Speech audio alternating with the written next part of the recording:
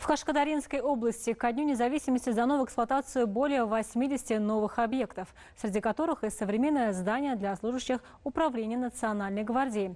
В нем созданы все необходимые условия для прохождения подготовки военнослужащих.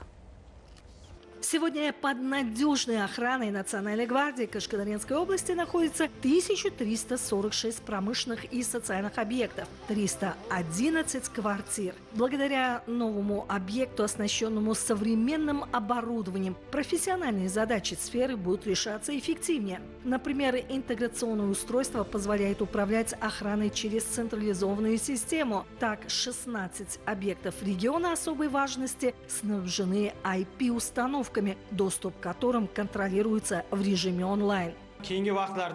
последнее время сотрудникам охраны создаются все возможные условия. Не сомневаюсь, что это современное административное здание может служить повышению качества службы всего личного состава нашего управления. Следует отметить, что служебные помещения, оснащенные современной компьютерной техникой и оборудованием, есть библиотека. В комнате релаксации планируется организация различных психологических тренингов, а поддержать физическую форму сотрудники управления Национальной гвардии смогут в тренажерном зале. Надо сказать, этот день стал для них двойным праздником. Группу образцовых служащих от имени командования Национальной гвардии наградили нагрудными знаками за безупречные заслуги третьей степени, почетными грамотами и памятными подарками.